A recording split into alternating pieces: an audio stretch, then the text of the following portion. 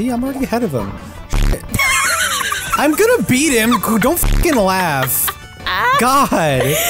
You made the Mido Elwa. and I died. God. You just have to be a fucking smartass all the time.